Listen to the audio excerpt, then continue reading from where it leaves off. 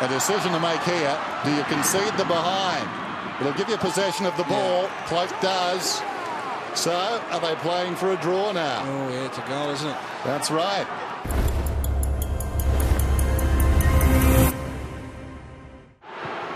Buckley wasting no time. Goes to the outer side. Ooh. Tredrea over the top. Plenty of skill on offer here. Stevens hard against the boundary line. Threads the kick to Dew. Oh, what a wonderful kick. What marvellous vision. There was no way through. And somehow he threaded the eye of a needle. If you, if you could imagine somebody plonking a 44-gallon drum out on the ground and under pressure, you've got to kick the ball and drop it in there. That's where he's hit it. That's just a beautifully weighted kick. There was traffic in between. There was pressure behind. There was Buckley converging from the side. He just had to drop it into a zone of about two metres. Well, Nick Stevens has had a big last quarter. He was fresh. He's come on. He's had a big influence in this last 20 minutes or so. As is uh, Dew. He's coming in for his fourth goal for the evening. Third he's for the quarter. Third he's, for the quarter. Yeah, he's kicked two of the last four. This for three of the last five. I'm in four. 13-7, 11-13, and this could just about do it. And I would imagine Port fans like the fact the ball is in mm. his hands. Stuart Dew to put down the resistance. Collingwood brave, but this might do it. It's a goal. 50. Doesn't matter. And this is a big price to pay for a minor blood, uh, blood rule, it's got to be said taken off the ground in a, a critical centre bounce with a minute and a half on the clock.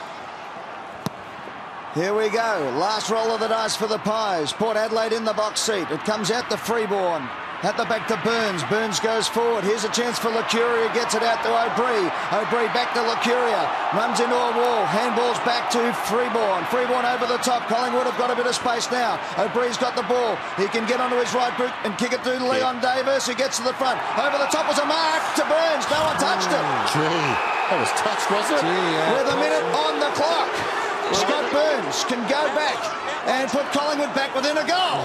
Well, they've looked up the clock, Collingwood, and they see 28 minutes and 45 seconds. So he's hurried back. Let's have a look. Jared Polton claims he got fingers no. to it. Oh, well, they might have. Yes. They might have. Burns comes in, needs to kick the goal before you worry about anything else. Yep. And he does. And Collingwood lift again. One goal the difference. Well, it is a, you got to say, the Primus blood yes. rule, the minor little scratch on the elbow.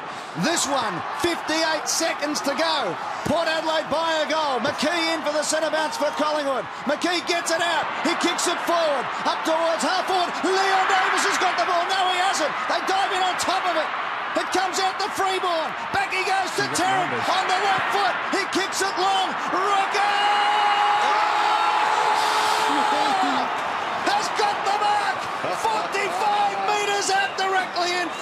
Oh, I tell you oh. what. Now, Gary, would it go through his mind last year when he the, missed that set shot? The clock is ticking. Angle? Don't worry about that. The clock is ticking. Well, 20 seconds. This, now it stops.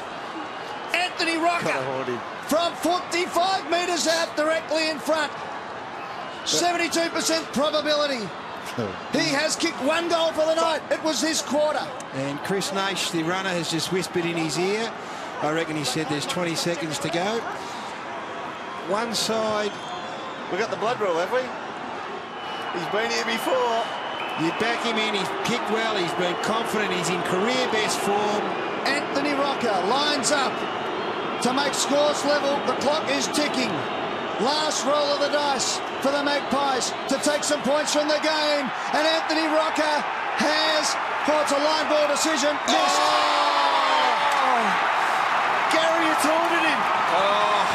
Still could be a chance for a win, though, if they get a turnover, Collingwood. That's what they've got. They've got to go man on man. They can't put out a zone. They have to go man on man here. They're doing that. Got to go long to... Oh, it's a gutsy kick. Ooh. We'll have another look at it. There's a good kick out, and there's the siren. And Port Adelaide have won by five points in a well-deserved victory here at Football Park tonight. And it's going to be a bit of push and shove here because a few are taunting Anthony Rocca down on the ground, and Jarrod Molloy's getting into it.